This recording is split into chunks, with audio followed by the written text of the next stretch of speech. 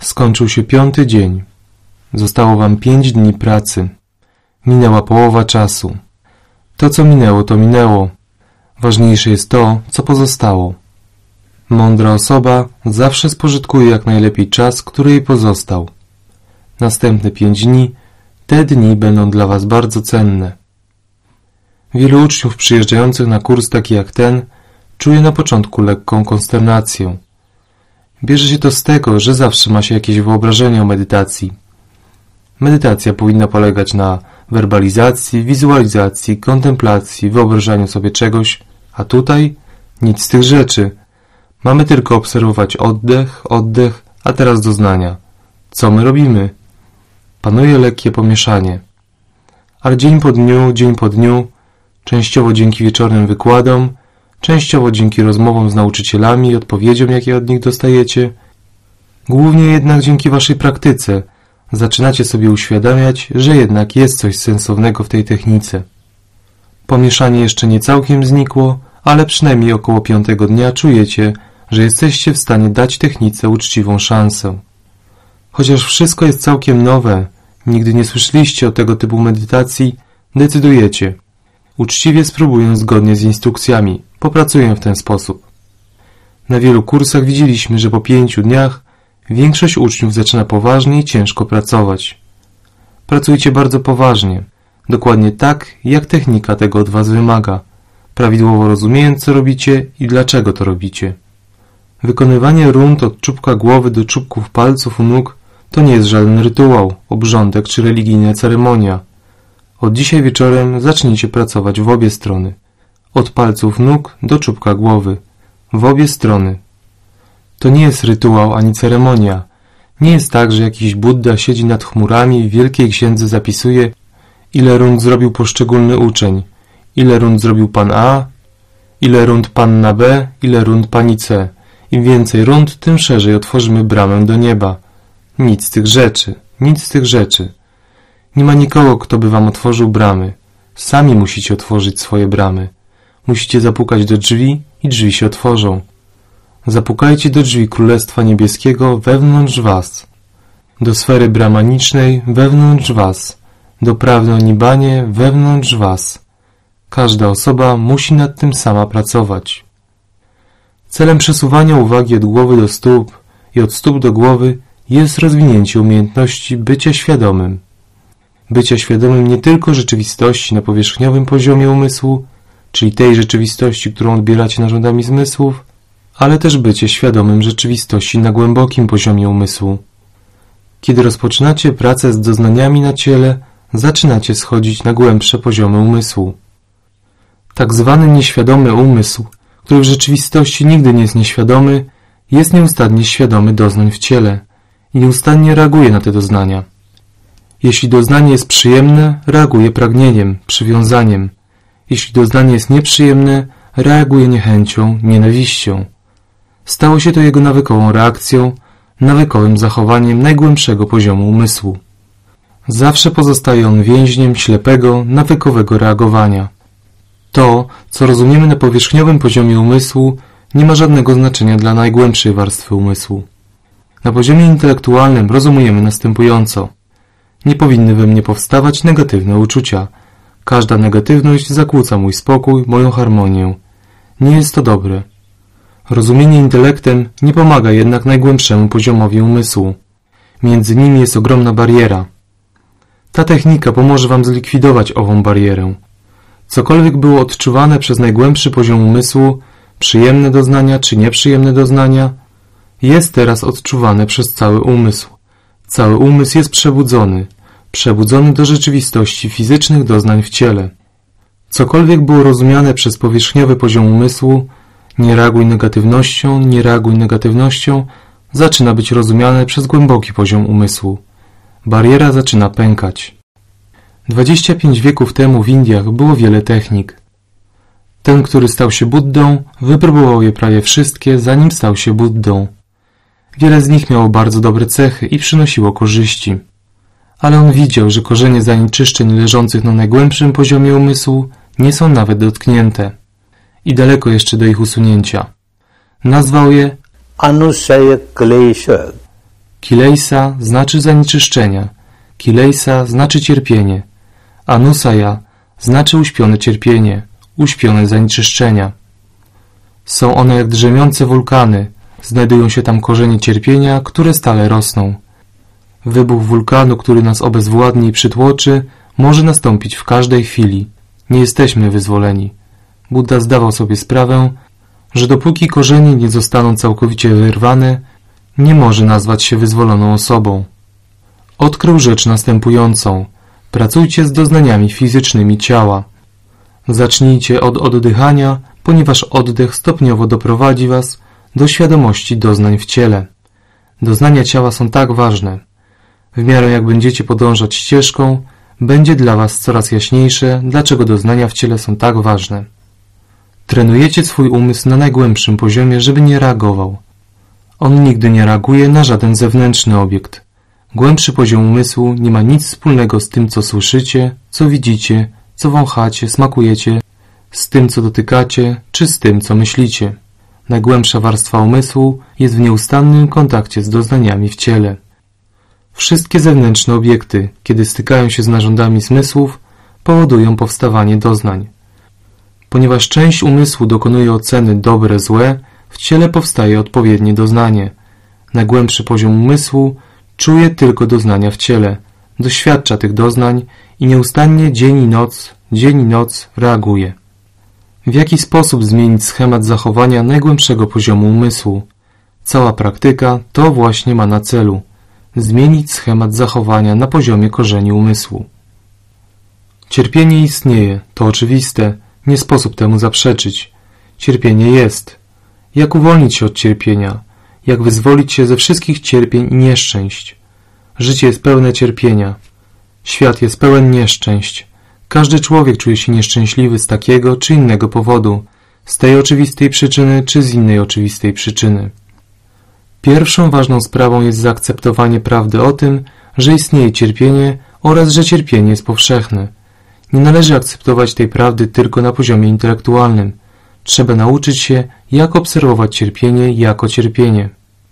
Kiedy uczycie się, jak obiektywnie obserwować cierpienie, uniwersalna prawda o cierpieniu staje się prawdą szlachetną. Pierwszą szlachetną prawdą. Szlachetną prawdą w tym sensie, że osoba, która zaczyna obserwować cierpienie jako cierpienie, obiektywnie bez reagowania na nie, prędzej czy później staje się szlachetną osobą, świętą osobą, wyzwoloną osobą, oświeconą osobą. Pierwszy krok do tego to zaakceptujcie rzeczywistość cierpienia i zacznijcie je obserwować. Obserwujcie je, ale nie reagujcie na nie. Tylko obserwujcie, tylko obserwujcie. To jest to, co zaczęliście robić. Weźmy na przykład cierpienie siedzenia przez godzinę bez ruchu. Pół godziny jakoś wytrzymujecie, a potem zaczyna się cierpienie. O, okropny ból, straszny ból. Jakoś udaje wam się znieść jeszcze kolejne 15 minut, ale później zaczyna się prawdziwa tortura. Wielkie tortury. Ktoś podszedł kiedyś do mnie i powiedział Goinka, cała ścieżka jest taka dobra. Technika jest w porządku, bardzo mi się podoba, a twoje wieczorne wykłady? Wspaniałe. Bardzo je lubię. Tylko zlikwiduj te godzinne siedzenie. To szaleństwo, zlikwiduj je. Wszystko poza tym jest wspaniałe. Ja też bym chciał je zlikwidować, ale wtedy nie będzie to działać. Musicie się z tym zmierzyć.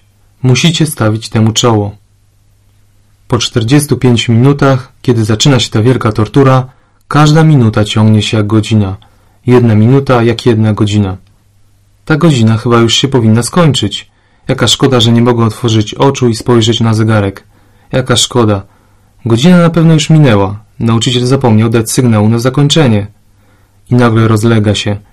Anicca sankhara. O, jak wspaniale. Jakiś to cudowny dźwięk, jaki melodyjny. Ten śpiew jest zachwycający, wspaniały. Jednak ciągle jest jeszcze pięć minut do końca. Nadal nie można otworzyć oczu, ani się poruszyć. Ale te pięć minut już nie ma takiego znaczenia. Już jesteście szczęśliwi. Wyzwolenie. Za chwilę nastąpi wyzwolenie z niewoli. Och, cierpienie niewoli i szczęście wyzwolenia. Doświadczacie obu. Cała ścieżka jest o tym, jak uwolnić się od cierpienia, od niewoli cierpienia. Wiele razy w życiu możecie znaleźć się w sytuacjach, w których nie da się uniknąć cierpienia. Nic nie możecie poradzić, musicie dać sobie z nim radę. Jak sobie z nim dać radę? Tego właśnie się uczycie. I nie tylko tego. Uczycie się, jak wytrenować umysł, aby pozostawał zrównoważony i spokojny. Kiedy jest wam przyjemnie i nie doświadczacie bólu, mówicie Jestem spokojny i zrównoważony. Proszę, wcale nie reaguję. Ale kiedy zaczyna się prawdziwy ból i nadal pozostajecie zrównoważeni i spokojni, być może udaje się to wam tylko przez parę chwil. Resztę czasu reagujecie, reagujecie. Ale te kilka chwil ma swoją moc. Równowaga jest mocna. Tak mocna, że zaczyna podcinać korzeń waszego problemu. Nawet jeśli udaje wam się to tylko przez kilka chwil w ciągu godziny. Tych kilka chwil zmieni się w kilka sekund, a sekundy zmienią się w minuty. Czasami zdarza się, że uczeń podchodzi do mnie i mówi Ból zaczął sprawiać mi przyjemność. Tak, zaczynacie odczuwać przyjemność bólu, ponieważ przestaliście reagować niechęcią na ból. Ból był fizyczny, a wy zwiększaliście go robiąc z niego dodatkowo ból mentalny. Jeśli usuniecie ból mentalny, pozostanie tylko ból fizyczny i kiedy będziecie go obserwować, zrobi się o połowę słabszy. Potem zostanie jedna czwarta, będzie coraz słabszy i słabszy. Zaczniecie się od niego uwalniać. Musicie nauczyć się, jak obserwować swój ból. Teraz jest on tak intensywny, że obezwładnia was, dominuje nad wami. To efekt nawykowej reakcji umysłu. Obserwujecie jakąś część ciała. Powiedzmy, że doświadczacie tam silnego bólu. Badacie go jak lekarz, który przychodzi do pacjenta. Lekarz nie doświadcza bólu, tylko bada. Tutaj ból jest silniejszy, a gdzie jest słabszy. Wy również badajcie swój ból w ten sposób. Nie utożsamiajcie się z bólem. Ból to ból. Ból jest. I co z tego? Obserwujcie go. Muszę ustalić, gdzie jest centrum bólu. Jak daleko sięga ból. O, tutaj jest silniejszy. A tutaj jest słabszy. Coraz słabszy. A tutaj już go nie ma. Całkiem znikł. W ten sposób dzielicie ten obszar, rozkładacie go na części. Przy następnej rundzie ponownie obserwujecie. Widzicie, że oprócz bólu pojawiło się coś jeszcze, może ucisk. Zaczynacie rozkładać, rozdzielać ten obszar, obserwując ucisk. Tu jest centrum ucisku, tu jest go więcej, tu jest go mniej, coraz mniej, a tutaj zniknął. Ten sposób badacie dany obszar, rozkładacie go na części. Możecie dojść do etapu, na którym oprócz bólu w tym samym miejscu zauważycie gorąco albo pulsowanie. Dotrzecie do etapu, na którym dostrzeżecie, że pomimo silnego bólu istnieje wewnętrzna wibracja obecna w całym ciele. Kiedy dotrzecie do tego etapu, ból przestanie być dla was bólem, nie będzie już wami rządził. Nie spodziewajcie się, że nastąpi to jutro rano, to potrwa, na to potrzeba czasu, ale uczcie się obserwować. Większość czasu nadal będziecie reagować zgodnie ze starym nawykiem, ale zdarzy się też kilka chwil bez reagowania – w ciągu tych paru chwil, kiedy nie reagujecie, cierpienie staje się szlachetną prawdą, pierwszą szlachetną prawdą. Obserwujecie cierpienie obiektywnie. W miarę jak uczycie się obserwować cierpienie obiektywnie, wchodzicie coraz głębiej i głębiej na poziom doświadczalny. Wchodząc głębiej, dochodzicie do drugiej szlachetnej prawdy, prawdy o prawdziwej przyczynie cierpienia. Na powierzchniowym poziomie każdy mówi – Cierpię z powodów zewnętrznych, niezależnych ode mnie. Ktoś powiedział coś, co mi się nie spodobało. Poczułem się nieszczęśliwy. Ktoś zrobił coś, co mi się nie spodobało. Poczułem się nieszczęśliwy. Albo nie wydarzyło się coś, czego pragnąłem. Przez to cierpię. To wszystko są powody zewnętrzne. Są one prawdziwe, ale na bardzo zewnętrznym, bardzo powierzchniowym poziomie. Bez zrozumienia prawdziwej przyczyny cierpienia, leżącej wewnątrz nas, Poświęcamy całą siłę i energię na naprawianie spraw zewnętrznych. To nie jest możliwe. Nie można zmienić innych. Można próbować to robić, a nawet jeśli zmieni się jedna osoba, jaką mamy gwarancję, że na jej miejsce nie pojawi się inna, która zrobi coś przeciwko nam? Takie sytuacje powtarzają się bez końca. W ciągu całego życia zdarzają się rzeczy chciane i zdarzają się rzeczy niechciane. Jednak w większości przypadków dzieją się rzeczy, których nie chcemy – Trzeba im wszystkim stawić czoło.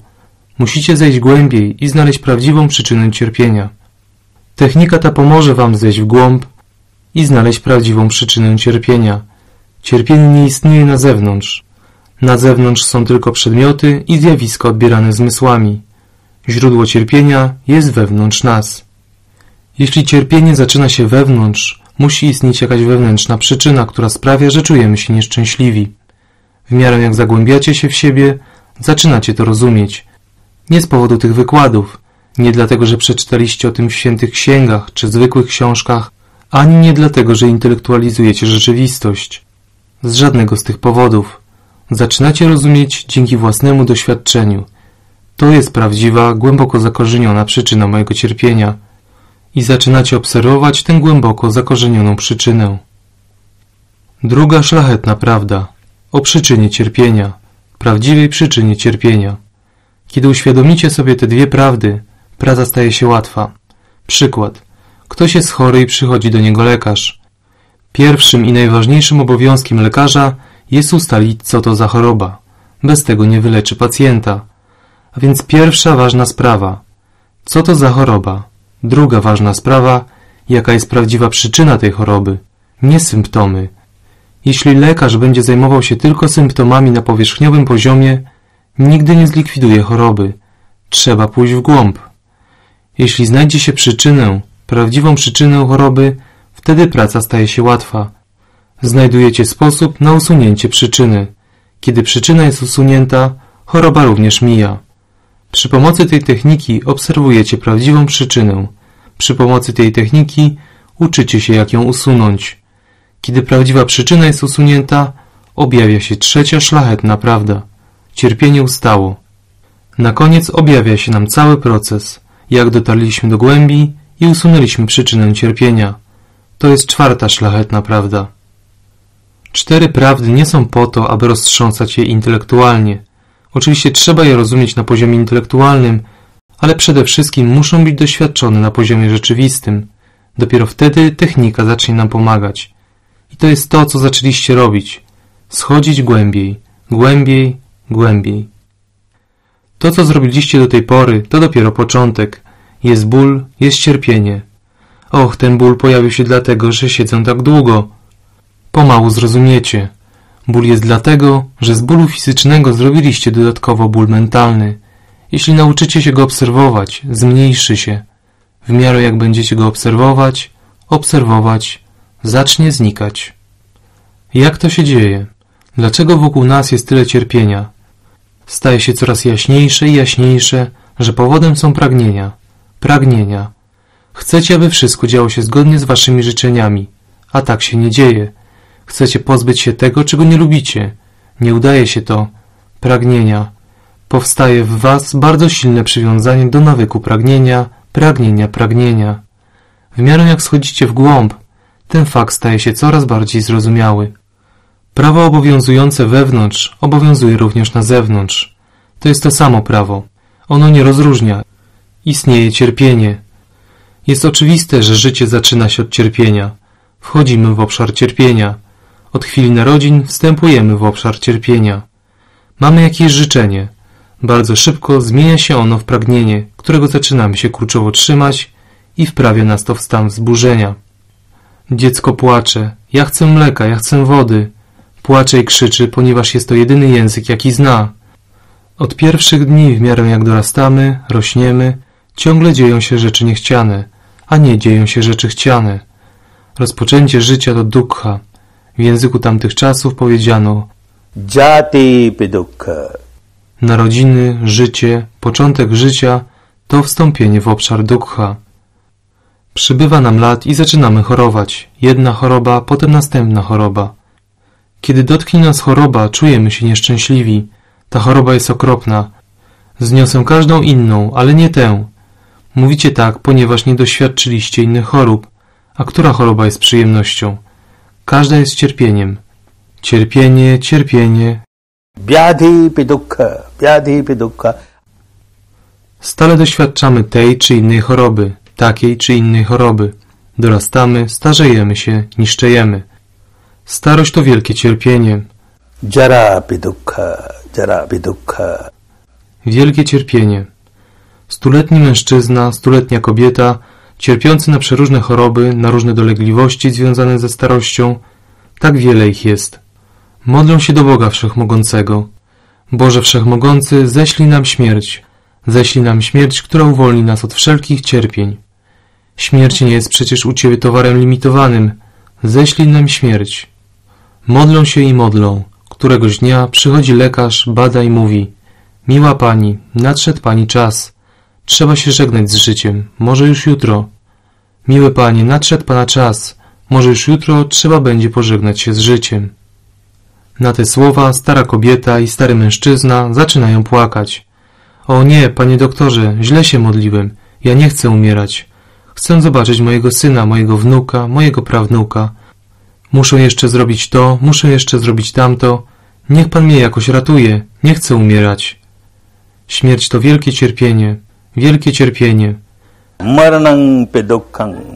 Pe dukkham. Ten człowiek, Buddha, nie bawił się w intelektualną grę. Siedząc pod drzewem doświadczał prawdy wewnątrz. Dlaczego tak jest? Co jest przyczyną cierpienia?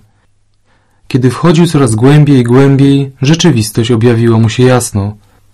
Pragniemy czegoś i jeśli pragnienie to nie jest zaspokojone, czujemy się nieszczęśliwi, cierpimy. Siedzicie na przykład w medytacji i pragniecie, żeby ból ustąpił. Ból nie ustępuje, więc cierpicie. Chcecie doświadczyć wspaniałych doznań rozkoszy, ekstazy? Nie pojawiają się, więc cierpicie. Jeśli nie dostajecie tego, czego pragniecie, cierpicie. Pragniecie czegoś, ale nie przychodzi to do was, więc czujecie się nieszczęśliwi. Niechciani ludzie, niechciane sytuacje, niechciane rzeczy stale was spotykają. Stale was spotykają. Rzeczy, których pragniecie, oczekiwani ludzie, chciane sytuacje, nie spotykają was. Ciągle ich nie ma. Wielkie cierpienie. Wielkie cierpienie. On zrozumiał to wszystko głęboko wewnątrz. Posuwając się coraz dalej i głębiej, dotarł do etapu, na którym wszystko stało się takie jasne. Sanketena panch upadan khanda dukkha. Krótko mówiąc, głęboko wewnątrz źródłem cierpienia jest pięć czynników napędowych. Pierwszy czynnik to czynnik materialny. Cząsteczki subatomowe, całe ciało składające się z cząsteczek subatomowych. Kalapas. Cztery pozostałe czynniki to czynniki mentalne, czyli cztery części umysłu: zauważająca, rozpoznająca, odczuwająca i reagująca. Wszystkie pięć czynników razem tworzy osobowość, czyli ja, oraz ogromne przywiązanie do owego ja. Upadan. Upada na to przywiązanie, kurczowe trzymanie się czegoś. Te pięć czynników to rezultat przywiązania, uporczywego trzymania się i przywiązania do tych czynników. I dlatego stale doświadczamy cierpienia, bez przerwy cierpimy. To stawało się coraz jaśniejsze i jaśniejsze. Upadan. Przywiązanie, uporczywe trzymanie się. Są cztery podstawowe rodzaje przywiązania. Pierwsze to przywiązanie do ja, wyimaginowanego ja, bez zrozumienia czym owo ja naprawdę jest. Wyimaginowane ja. Cząsteczki subatomowe. Ta ogromna ilość subatomowych cząsteczek, czy to właśnie ja? Tak ją nieustannie nazywamy. Pozostałe cztery czynniki. Zauważająca część umysłu zauważa i znika. Zauważa, po czym znika. Czy ona jest tym ja? Rozpoznająca część umysłu rozpoznaje i znika. Czy ona jest tym ja? Odczuwająca część umysłu poczuje i znika. Czy ona jest tym ja? Reagująca część umysłu zareaguje i znika. Czy ona jest tym ja? A może wszystkie pięć czynników razem połączonych, może one są owym ja? Jakże ogromnie ważne jest dla nas to ja. Jeśli ktoś powie choć jedno słowo skierowane przeciwko naszemu ja, czujemy się bardzo zirytowani, bardzo wzburzeni, nie rozumiejąc czym jest owo ja. Wyimaginowane ja, wymyślone ja, a jakże mocno jesteśmy do niego przywiązani. Ktoś robi coś przeciwko naszemu ja, znowu czujemy się zirytowani, wzburzeni, nieszczęśliwi. Tacy nieszczęśliwi. Ja, ja, ja. Ogromne przywiązanie do ja. Nie przynosi nic oprócz cierpienia. Następnie sfera owego ja rozszerza się, zatacza coraz większe koło. Koło obejmuje swoim zasięgiem wszystko to, co jest moje. Zaczynamy się przywiązywać do moje, moje, moje. Rozwija się ogromne przywiązanie do moje, moje, moje. Mój zegarek, jaki wspaniały zegarek, drogocenny zegarek. Jeden z uczniów przywiózł mi go w prezencie z zagranicy. Piękny, cenny zegarek. Któregoś dnia przez moją nieuwagę zegarek spadł i popsuł się. Zaczynam płakać. Oj, taki cenny zegarek mi się popsuł. W moim kraju nie dostanę do niego części zapasowych. Jak go zreperować? Płaczę, płaczę, lamentuję. Inny zegarek. Ten sam model, ta sama wartość, ale należy do mojego przyjaciela. Też nagle spada i się psuje. Ja nie płaczę, w ogóle się nie martwię. Przeciwnie, zaczynam przyjacielowi prawić kazanie. Mój drogi, trzeba było uważać. Takiego modelu nie dostaniesz w naszym kraju. Nie dostaniesz tu części zapasowych, żeby go zreperować. Ja nie płaczę. Dlaczego? Ten sam zegarek, ten sam model, ta sama wartość. Ale ja nie płaczę. Nikt nie płacze z powodu zepsucia się cennego zegarka. Płaczemy, ponieważ popsuł się mój zegarek. Mój zegarek się popsuł. Mój zegarek się popsuł. To moje, mój i ogromne przywiązanie do moje, moje. Nie ma znaczenia, czy moje, tak zwane moje, jest warte kilka dolarów, czy kilka milionów dolarów. To nie jest ważne. Tyle, ile jest przywiązania do tej rzeczy, tyle będzie cierpienia. Im głębsze przywiązanie, tym głębsze cierpienie. Im silniejsze przywiązanie, tym silniejsze cierpienie. Takie jest prawo natury. Będzie to coraz jaśniejsze w miarę coraz dłuższego praktykowania. Przywiązanie, kurczowe obstawanie przy czymś nieuchronnie sprowadza cierpienie. Nic tylko cierpienie. Pewne wydarzenie.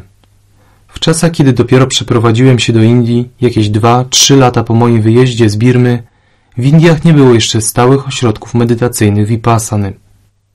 Te osoby, które chciały, aby technika rozpowszechniała się wśród cierpiących ludzi, organizowały kursy w najróżniejszych miejscach, takich jak meczet, świątynia, kościół i tym podobne, czasami szkoła albo podobna placówka. Jeden z kursów zorganizowano w odległej wiosce, która była ośrodkiem pielgrzymek dla dżinistów. Była to świątynia dżinijska. Niewielu mieszkańców owej wioski brało udział w kursie. Większość ludzi przyjechała z pobliskich miast. Wśród nich była też pewna bardzo biedna kobieta w podeszłym wieku. Ktoś zafundował jej bilet na pociąg i przyjechała wziąć udział w kursie. Przez dwa, trzy, cztery, pięć dni była bardzo zadowolona, robiła postępy. Nagle piątego czy szóstego dnia zorientowała się, że wczesnym rankiem w głównej sali odbywa się medytacja przy śpiewach. Śpiewane są błogosławieństwa, dobre życzenia itd. Zapytała, czy ja też mogę przyjść, czy ja też mogę wziąć w tym udział. W programie nic nie jest o tym napisane. Dostała odpowiedź. Tak, oczywiście, możesz przyjść, ale musisz medytować. Tak, tak, będę medytować. Przyszła i medytowała. Po medytacji była taka szczęśliwa, taka szczęśliwa. Uśmiechała się cały czas. Poszła do swojego pokoju, ale tuż po tym, jak tam weszła, nagle rozległ się głośny krzyk. Krzyczała i krzyczała. Ludzie się zbiegli. Co się stało? Czy ukąsił ją jakiś skorpion albo wąż? Co jej się stało? Ona nie odpowiedziała. Dalej płakała, płakała i krzyczała. Po jakimś czasie, szlochając, powiedziała Przywiozłam ze sobą mały, płócienny woreczek. W tym woreczku było dwadzieścia rupii. To było mniej niż dzisiaj jeden dolar. Dwadzieścia rupii to było oszczędności całego mojego życia. Dwadzieścia rupii. I jeszcze, kiedy sześćdziesiąt lat temu wychodziłam za mąż, dostałam w posaku srebrną ozdóbkę. Ona też była w tym woreczku. A kiedy wyjeżdżałam na ten kurs, podarowano mi trochę słodyczy. Też się tu trzymałam. Zawsze, kiedy medytowałam, miałam woreczek przy sobie. Kiedy spałam, miałam go pod poduszką. Dzisiaj rano, kiedy poszłam do sali medytacyjnej, zostawiłam woreczek w pokoju. Ktoś go zabrał.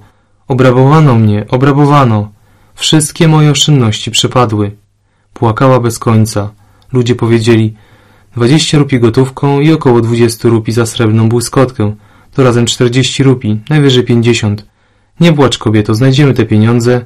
Medytuj dalej, bardzo dobrze medytujesz. Ale ona dalej płacze i płacze i nie może się uspokoić. Ludzie pomyśleli, lepiej uzbierajmy trochę pieniędzy i dajmy jej od razu, bo inaczej nie przestanie płakać. Zrobiono zbiórkę. Zamiast pięćdziesięciu rupii uzbierano sto. Wspaniale. Teraz staruszka na pewno przestanie płakać. Poszli, by ofiarować jej te pieniądze, ale ona je wyrzuciła. A na co mi te pieniądze? Ta srebrna ozdóbka z posagu. Gdzie ja dostanę taką ozdóbkę? Przepadła. Wszyscy zaczęli szukać woreczka, ale na próżno. Jeszcze tego samego dnia wieczorem ktoś zobaczył małpę, która siedziała na drzewie i wyjadała z woreczka słodycze. Ludzie złapali małpę, odebrali jej woreczek i zwrócili kobiecie srebrną błyskotkę. Wtedy dopiero płacz ustał. Pragnienia. Nieważne, czy rzecz jest warta 20 rupii, czy 20 milionów. To żadna różnica. Cierpienie jest tak wielkie, jak wielkie było przywiązanie do tej rzeczy. Nieuchronne cierpienie. Ja, moje, ja, moje. Czy się tych słów używa, czy nie, wszystko jedno. Ale owo ja, moje i przywiązanie do nich jest pełne cierpienia, pełne cierpienia. Pamiętam inne wydarzenie, również w odległej wiosce w północnych Indiach. W kursie brał udział bardzo uczony mnich. Po pięciu czy sześciu dniach podszedł do mnie. Goinka G. Między dwunastą i trzynastą uczniowie mogą przychodzić na rozmowę z nauczycielem. Każdemu z nich dajesz dziesięć minut. W tamtych czasach uczniów było mniej i mogłem poświęcić jednemu uczniowi dziesięć minut. Całe dziesięć minut dla tych świeckich ludzi. O co może pytać świecka osoba? Dziesięć minut to dla nich za dużo. Ja jestem mnichem, pustelnikiem, mam mnóstwo pytań. Daj mi proszę pół godziny. Odpowiedziałem mu. Wielebny, wiem, że będziesz chciał rozmawiać o skomplikowanych filozofiach i temu podobnych rzeczach. Mnie to nie interesuje. Nie mogę poświęcić ci tyle czasu. Och nie, Goinka. Przez ostatnie pięć dni zrozumiałem, że te wszystkie filozoficzne dysputy są bezużyteczne. Będę rozmawiał tylko o technice. O technice? Dlaczego potrzebujesz aż pół godziny na rozmowę o technice? Proszę, poświęć mi pół godziny. No dobrze, jakoś wygospodaruję ten czas. Przyjdź. I przyszedł. Przez dwie, trzy, pięć minut mówił o technice. Nagle zmienił temat, zmienił przedmiot rozmowy. Goinka G. W tym wielkim mieście, w tym, z którego on przyjechał, twój klasztor. Mój klasztor? Klasztory są dla mnichów, nie dla świeckich. Ja mam dom i rodzinę. Jak mogę mieć klasztor? Goinka G. Spróbuj zrozumieć. Twój klasztor. Wielebny. Ja nie mam klasztoru, ja nie mogę mieć klasztoru. Mam dom i rodzinę. Mam na to mnóstwo widocznych dowodów. Moja żona siedzi obok mnie cały czas, kiedy prowadzę kurs. Jak mogę mieć klasztor? A on dalej uparcie powtarzał. Goinka G. Twój klasztor. Twój klasztor. W pewnym momencie powiedział. Goinka G. W twoim klasztorze twój słoń. Mój słoń? O czym on mówi? Nagle zrozumiałem. Tu są Indie. Indie wspaniały kraj, olbrzymi kraj, posiadający wiele tradycji. Niektórzy ludzie, zgodnie z jedną z tych tradycji, żywią silne przekonanie, że w życiu nie powinno się używać tych nieprzyzwoitych słów ja, moje. Nie należy ich wypowiadać. Kiedy muszą powiedzieć ja, mówią ty. Kiedy muszą powiedzieć mój, mówią twój. A, teraz rozumiem. W porządku wielebny, mój klasztor, mój słoń. Mów dalej o co chodzi. Był to asceta, który zrzekł się wszystkiego. Zbudował klasztor w środku miasta bez pozwolenia władz. Nagle przyszedł nakaz, że klasztor trzeba rozebrać, a ponieważ w środku miasta nie wolno też trzymać słonia, nakazano mu też usunąć zwierzę. Mnich przypadkowo dowiedział się, że burmistrz owego miasta był w Birmie i mieszkał u mnie jako gość. Więc Goinka G, wystarczy kilka twoich słów, a twój klasztor będzie uratowany, twój słoń będzie uratowany. Nie używał słowa ja, nie używał słowa mój, a mimo to ileż było w nim przywiązania. Przywiązanie nieuchronnie sprowadza cierpienie. Nic tylko cierpienie, cierpienie. Im głębsze przywiązanie, tym głębsze będzie cierpienie. Nie byłoby cierpienia, gdybym przywiązał się do ja, a owo ja trwałoby wiecznie. Czy też gdybym rozwinął przywiązanie do moje, i moje również trwałoby wiecznie. Nie byłoby wtedy cierpienia. Kłopot w tym, że ja nie jest wieczne, moje nie jest wieczne. To, co nazywam moje, moje, moje, wszystko to przemija, znika, a ja jestem bezradny. Nic nie mogę na to poradzić. Rozstanie, rozłąka jest nieuchronna, nieodwołalna i przynosi dużo cierpienia. Jeśli jest przywiązanie, kurczowe trzymanie się czegoś, cierpienie jest wielkie. Rozwija się jeszcze jeden rodzaj przywiązania. Główne przywiązanie dotyczy ja i rozszerza się na moje, a następnie moje poglądy, moja filozofia, moje dogmaty, moja wiara, moja religia, moja tradycja. Niezmiernie mocno przywiązujemy się do swoich poglądów, nie rozumiejąc, że patrzymy na świat przez kolorowe okulary i że jest to przywiązanie do koloru okularów. Jeśli noszę czerwone okulary, wszystko jest dla mnie czerwone, czerwone, czerwone. Ktoś inny nosi okulary z zielonymi szkłami.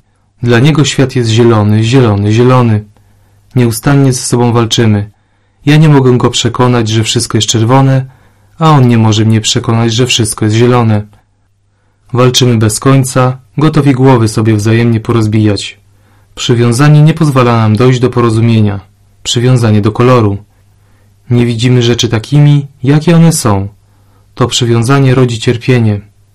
Istnieje też przywiązanie do rytuałów, obrzędów, ceremonii itd. Tutaj na zachodzie tego nie zauważyłem, ale na wschodzie ludzie są bardzo przywiązani do swoich codziennych rytuałów, codziennych ceremonii. Przyjeżdżają na kurs Vipassany i mówią Dlaczego każecie mi zarzucić moje ceremonie i rytuały? Potrzebuję na to tylko 15 minut. Skończą i wtedy będę medytować. Nie dostają zgody i są z tego powodu bardzo oburzeni. Później w trakcie kursu zaczynają rozumieć powód, ale początkowo cierpią z powodu przywiązania. Te cztery rodzaje głębokiego przywiązania przynoszą nam dużo cierpienia, dużo cierpienia. Buddha poszedł głębiej. Właściwie dlaczego jest przywiązanie? I stało się to jaśniejsze, jaśniejsze. Powstaje was pragnienie, pragnienie czegoś, co chcielibyście mieć. Chcecie to posiadać, chcecie to zatrzymać. Przywiązujecie się do swojego pragnienia i zmienia się to w kurczowe trzymanie się go, silne przywiązanie. Albo nie chcecie czegoś, chcecie się czegoś pozbyć, ale nie udaje się wam to.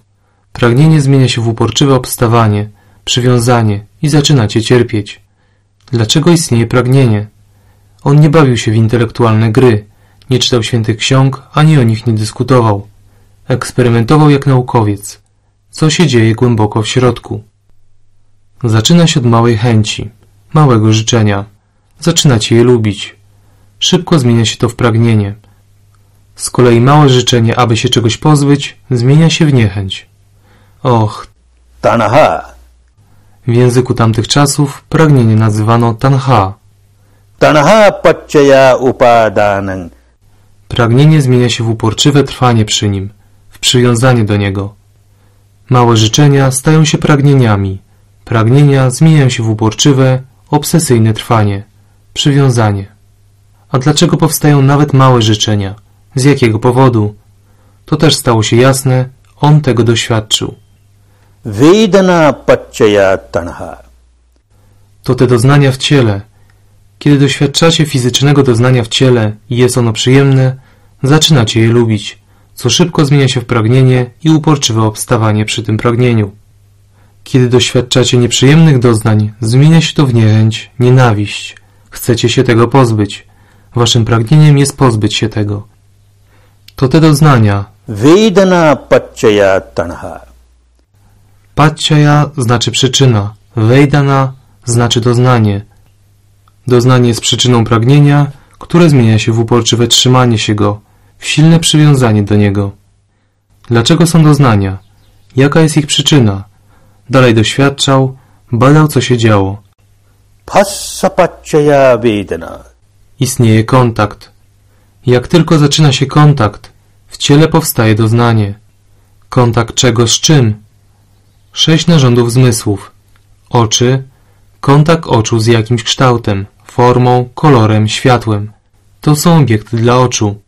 Kiedy wchodzą one w kontakt ze wzrokiem, nieuchronnie powstaje doznanie. Obiekt dla narządu zmysłów, jakim są uszy. Kiedy dźwięk wchodzi w kontakt ze słuchem, nieuchronnie powstaje doznanie. Kolejny narząd zmysłu, nos. Zapach wchodzi w kontakt z węchem, powstaje doznanie. Język. Smak wchodzi w kontakt ze zmysłem smaku, powstaje doznanie. Dotyk. Coś dotykalnego styka się z ciałem, powstaje doznanie. I umysł jako narząd zmysłu. Jakakolwiek myśl lub emocja również nieuchronnie powstaje doznanie w ciele. To jest kontakt. Dlaczego jest kontakt? To było takie proste, takie jasne. Paccaya. Passa znaczy kontakt. Salayatana znaczy sześć narządów zmysłów. Jeśli mamy sześć narządów zmysłów Ich kontakt z odpowiadającymi im obiektami jest nieuchronny. Cały świat pełen jest odpowiednich obiektów. A więc kontakt istnieje, ponieważ w naszym ciele istnieją narządy zmysłów oraz odpowiadające im obiekty w świecie. Dlaczego są narządy zmysłów? Jaka jest przyczyna ich istnienia? To proste. Nam rupa paccaya salaitanam. Nama znaczy struktura mentalna, rupa znaczy struktura fizyczna. Połączenie obu struktur. Jak tylko nawiązuje się to połączenie, to znaczy kiedy zaczyna się życie, kiedy życie zaczyna płynąć, sześć narządów zmysłów zaczyna działać. Dlaczego życie umysłu materii zaczyna się w ten sposób? To okazało się takie jasne. Ponieważ cały czas istnieje przepływ świadomości. Jak tylko kończy się jedno życie, strumień świadomości wchodzi w kontakt z innym życiem i pojawia się gdzie indziej. Nieustannie pojawia się i przemija, pojawia się i przemija. W momencie śmierci przemija. Następnie pojawia się w innym życiu, innym ciele i zaczyna tam płynąć w ten sam sposób. Dlaczego jest winiana? Jaka jest jej przyczyna? To było takie jasne.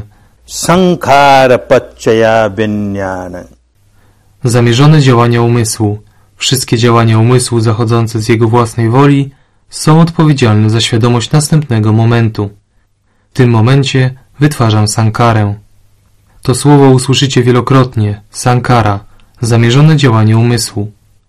Kiedy wytwarzacie sankarę, w następnym momencie pojawia się świadomość. Wytwarzacie sankarę, w następnej chwili pojawia się świadomość. W chwili śmierci na powierzchnię wypływa bardzo głęboka sankara, niczym głęboka bruzda wyryta w skale dłutem i młotkiem. Działa jak silne pchnięcie, po czym świadomość pojawia się w innym miejscu. A zatem przepływ trwa z powodu sankary. Dlaczego jest sankara? To było takie jasne. Avidya paccaya sankhara. Niewiedza, ignorancja. Wszyscy wytwarzamy sankary z powodu niewiedzy. Jakiej niewiedzy? Nie takiej, która wynika z nieuczęszczania do szkoły czy na uniwersytet. Nie takiej, która się bierze z nieznajomości świętych ksiąg. Nie dlatego, że ktoś nie słyszał wykładów o Dammie. Nic z tych rzeczy. Chodzi o niewiedzę na poziomie doświadczalnym. Niewiedzę o tym, w jaki sposób cierpienie rodzi się w głębi nas, w jaki sposób powstają doznania, jak to się dzieje, że na przyjemne doznania reagujemy sankarą pragnienia, jak to się dzieje, że na nieprzyjemne doznania reagujemy sankarą niechęci. Cały proces odbywa się głęboko wewnątrz nas, a na powierzchniowym poziomie nic nie wiemy o tym, co się tam dzieje. Ów proces pomnażania, wytwarzania cierpienia, pomnażania cierpienia, ciągłego wytwarzania sankar, nieustannego pomnażania sankar, dzieje się z powodu niewiedzy, ignorancji.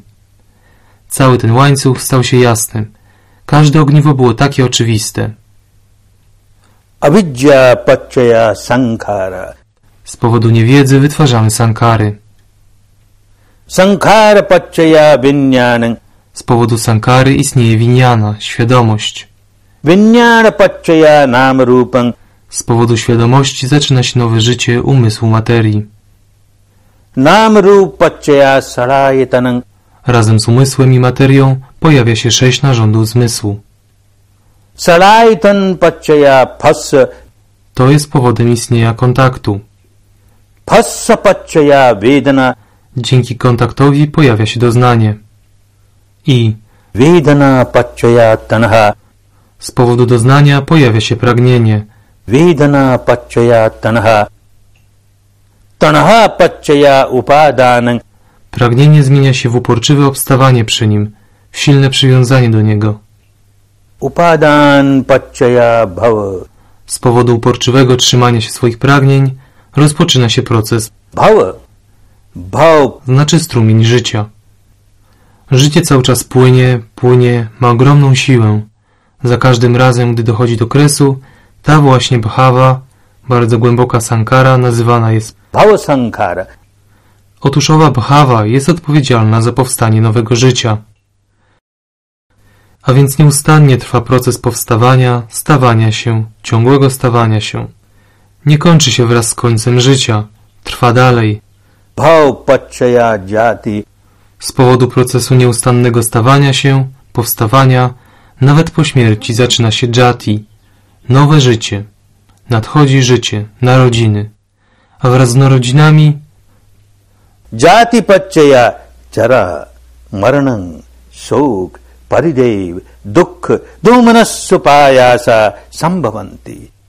gdy zaczyna się życie, musimy przejść przez wszystkie rodzaje cierpienia. Cierpienie starości, cierpienie choroby, cierpienie śmierci, cierpienie, kiedy nie dzieje się to, co chcemy, a dzieje się to, czego nie chcemy. Ponieważ nastąpiły narodziny, musimy przejść przez wszystkie rodzaje cierpień fizycznych i mentalnych. To stało się bardzo jasne. Cały proces stał się tak jasny. Może on stać się jasny dla każdego, kto schodzi głębiej, głębiej głębiej. Po usunięciu niewiedzy i poznaniu prawdy, zrozumieniu prawdy na poziomie doświadczalnym, stało się jasne, jak rozpoczął się proces cierpienia i w jaki sposób nieustannie się pomnaża, pomnaża. Jak się go pozbyć, jak się od niego uwolnić, jak przerwać łańcuch, łańcuch złożony z tak wielu ogniw, które ogniwo należy przerwać, w którym miejscu trzeba przerwać łańcuch. Życie już się rozpoczęło z nama i rupa, nowe życie, umysłu i materii. Strumień życia zaczął płynąć. Co można zrobić? Popełnić samobójstwo? Czy to rozwiąże problem? O nie, nie rozwiąże. W ten sposób nie uwolnimy się od cierpienia. Kiedy ktoś popełnia samobójstwo, to jaka jest wtedy wola jego umysłu? W jakim stanie jest umysł? Pełen ogromnego cierpienia. Ostatni umysł takiego życia jest przepełniony cierpieniem. Jego efektem będzie nowe życie pełne cierpienia. Następny umysł jest pełen cierpienia, ponieważ jest produktem ostatniego stanu umysłu tego życia. Samobójstwo nie rozwiązuje problemu. Nie można uwolnić się od cierpienia poprzez popełnienie samobójstwa. Kiedy istnieje nama i rupa, umysł i materia, istnieje życie.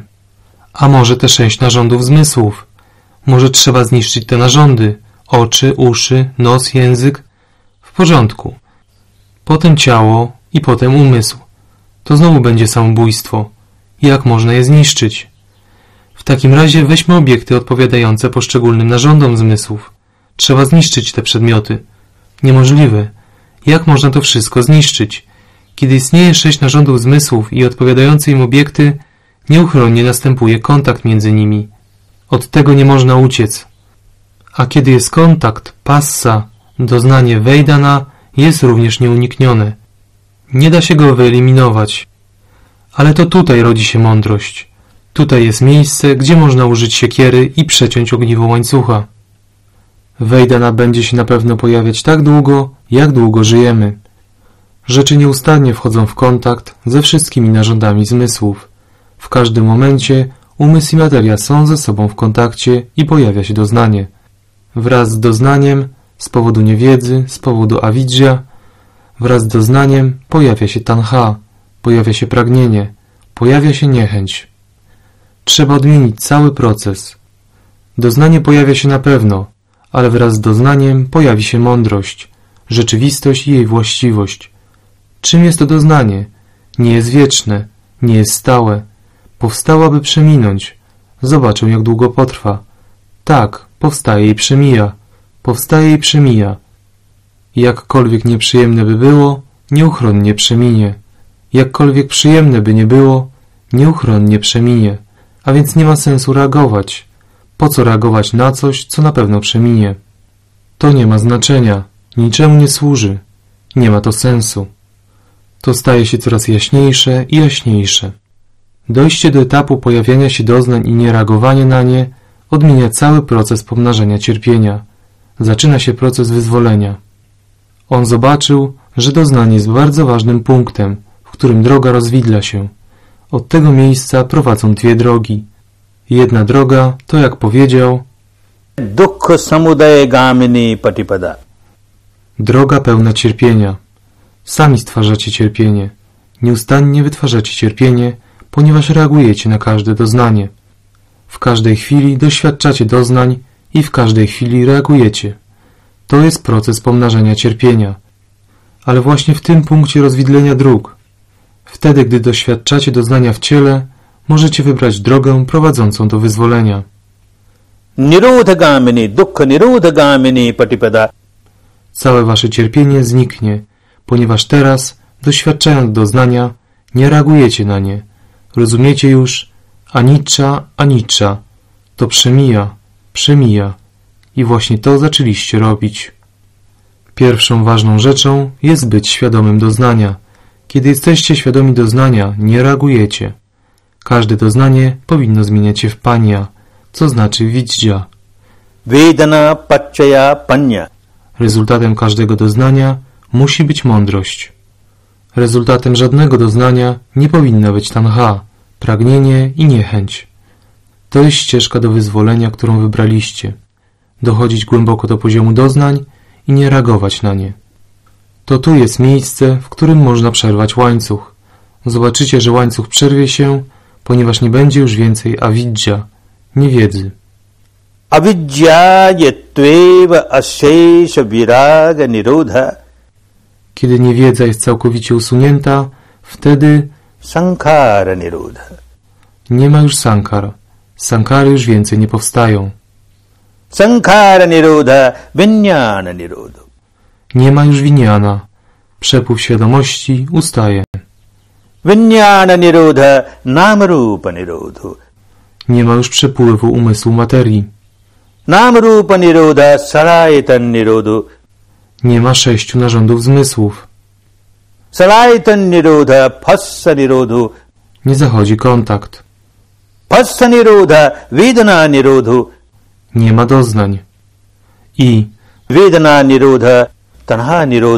nie ma pragnień. Nie ma uporczywego trzymania się pragnień.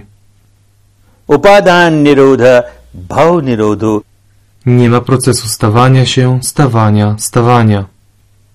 ಭಾವ ನಿರೋಧ ಜಾತಿ ನಿರೋಧ Nie ma nowych narodzin. I ಜಾತಿ ನಿರೋಧ ಜರ ಮರಣಂ ಶೋಕ್ ಪರಿದೇ ದುಃಖ ದೋಮನಸ್ಸು ಪಾಯಾಸ wszystkie cierpienia zapoczątkowane narodzinami automatycznie znikną. Łatwo jest to wszystko zrozumieć. Można to zaakceptować na poziomie intelektualnym, ale to niewiele pomoże. Trzeba praktykować, trzeba pójść w głąb, tam gdzie istnieją doznania i powstrzymać się od reagowania. Są doznania, ale wy nie reagujecie. Zaakceptowanie tego tylko na poziomie teoretycznym nie pomoże. Można nie wierzyć w przeszłe albo w przyszłe życie, to nie ma znaczenia, to nie jest ważne. Do tego, żeby technika wam pomogła, nie jest potrzebne, abyście najpierw zaakceptowali istnienie przeszłego i przyszłego życia. Trzeba zaakceptować obecne życie. To, które jest teraz, tutaj i to w nim w każdym momencie sami przysparzacie sobie cierpień. W każdej chwili generujecie jakąś sankarę i każda sankara przynosi wam cierpienie. Stale powtarzacie sankarę, powtarzacie sankarę, czyniąc ją coraz głębszą. Jak bruzdę rytą w skale młotkiem i dłutem, tak bardzo głęboką. Coraz więcej i więcej cierpienia, coraz głębsze i głębsze cierpienie. Teraz zaczynacie się od niego uwalniać. Zaczęliście uwalniać się od obecnego cierpienia. Prawo natury jest takie. Kiedy doświadczając doznań w ciele przestajecie wytwarzać nowe sankary, stare zaczynają wypływać na powierzchnię. Wszystkie te nagromadzone w przeszłości, które leżą głęboko na dnie, zaczną się pojawiać. Kiedy się pojawią, objawiając się takim czy innym doznaniem, kiedy wypłyną, nie reagujecie, pozostajecie zrównoważeni i spokojni. Sankary tracą wtedy swoją siłę, stają się coraz słabsze, słabsze i zanikają. Potem kolejna wielka porcja starych sankar objawi się kolejnymi doznaniami. Nadal zachowujecie równowagę i spokój. W ten sposób stare sankary znikną. Kiedy przestajecie wytwarzać nowe sankary, stare są automatycznie usuwane, stopniowo, po trochu. Zależnie od tego, na ile zachowujecie równowagę umysłu, wypływają na powierzchnię, po czym przemijają, wypływają i przemijają. Według słów Buddy Anicca vata sankhara Co jakiś czas usłyszycie te słowa Anicca vata sankhara Oznaczają one, że każda sankara jest anicca, powstaje, znika. Uppa Powstająca i zanikająca. Taką ma naturę. Powstaje i przemija. Uppa davaye Zanika, ale ponownie powstaje, pomnaża się i pojawia się ponownie. Ale jeśli jesteście świadomi doznań i nie reagujecie na nie, wtedy są usuwane bezpowrotnie, pojawiają się na powierzchni i znikają bezpowrotnie. Tyle, ile ich zniknie, Te tyle pojawi się radości wyzwolenia. Zaczniecie cieszyć się spokojem wyzwolenia, ponieważ tyle cierpienia zniknie. Tak wygląda cały proces. Na tym polegało oświecenie tego człowieka. Ujrzał prawdziwą przyczynę cierpienia i zrozumiał, jak można usunąć prawdziwą przyczynę cierpienia na najgłębszym poziomie. Jego pierwsze słowa po uzyskaniu całkowitego oświecenia, pierwsze słowa Buddy są tak cudowne. Każde słowo Buddy jest cudowne, ale pierwsze słowa, jakie były pierwsze słowa Buddy po osiągnięciu całkowitego oświecenia? W ciągu tych dziesięciu dni tutaj słyszycie je codziennie, przynajmniej trzy razy dziennie. अनेक जाति संसारं सन्दावे संयनिं विसं गकारकङ्गवे सन्तु दुःख जाति पुनः पुनः गकारक दिठोसि पुनगे हङ्गनकासि Sabate pasuka bhaga gakutang visankitang visankaragatam chitang tanhanang khayamajjaga aneka jati sansarang. Była to noc pełnia księżyca w miesiącu Wejsakha, kiedy siedział pod drzewem, obserwując prawdę wewnątrz. Kiedy schodzi się coraz głębiej i głębiej, oczyszczając umysł, oczyszczając, umysł nabiera pewnych zdolności, umiejętności. Jedną z nich jest zdolność widzenia przeszłości. Zanim minęła północ, w jego umyśle pojawiła się ta zdolność. Zobaczył swoją przeszłość, nie tylko jego obecne życie, ale i poprzednie życie i jeszcze poprzednie, dziesięć poprzednich wcieleń i dalej. Zobaczył swoje niezliczone poprzednie wcielenia i powiedział. Na tym świecie rodziłem się tak wiele razy. Narodziny za narodzinami, narodziny za narodzinami, niezliczone wcielenia. Aneka znaczy niezliczone, nie jedno, ale niezliczone. Aneka jati sansarang. Sandhavisang. I za każdym razem, kiedy się narodziłem, stale biegłem, biegłem, ustawicznie, bez zatrzymywania się. Każdy, kto się narodził, stale biegnie, ustawicznie biegnie ku śmierci. Jak tylko się narodzicie, zaczynacie swój bieg ku śmierci. Biegniecie, biegniecie. Nie potraficie zatrzymać się nawet na sekundę. Chcę chwilę poczekać, zatrzymać się na moment. Nie chcę biec na spotkanie śmierci. Nie jesteście w stanie się zatrzymać, poczekać. Musicie biec i biec. Nieustannie biec do śmierci, nie zyskując po drodze nic, niczego nie osiągając. W którymś z kolei życiu spotkał mądrych ludzi, którzy powiedzieli mu, że można wyzwolić się z koła życia, śmierci i cierpienia pod warunkiem, że ujrzy się Stwórcę, wielkiego Stwórcę. Przez wiele kolejnych wcieleń szukał więc Stwórcy, który jest. Stwórcą tego domu. Jakiego domu? Za każdym razem, kiedy umieramy, następny dom jest dla nas gotowy. Po każdej śmierci jest nowy dom. Kto stwarza ten dom? W poszukiwaniu Twórcy tego domu. Dukkha jati. Jeszcze raz jeszcze raz, następne narodziny i następne, pełne cierpienia, pełne cierpienia. Na tym planie istnienia, czy na innym planie istnienia, wszędzie jest cierpienie, wszędzie. Nawet na najwyższym planie istnienia, w sferach niebiańskich, w sferach bramanicznych, istnieje cierpienie starości i śmierci. Nie ma tam całkowitego wyzwolenia od cierpienia. Twórco domu, teraz Cię widzę.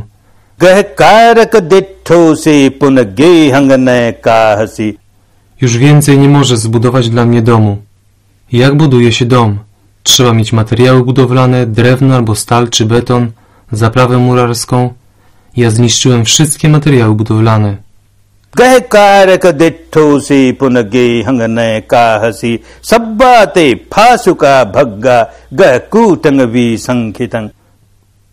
Zniszczyłem wszystkie materiały budowlane.